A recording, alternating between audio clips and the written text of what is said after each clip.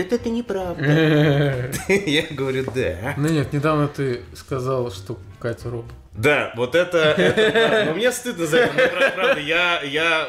Нет, это не я. Нет, справедливости ради ты Катя эту хуйню начала. Короче, ситуацию объясняю вам. Катя начала, типа, вот делать... Она просто стояла на месте. И э, Маша подходит и говорит, типа, мама, мама.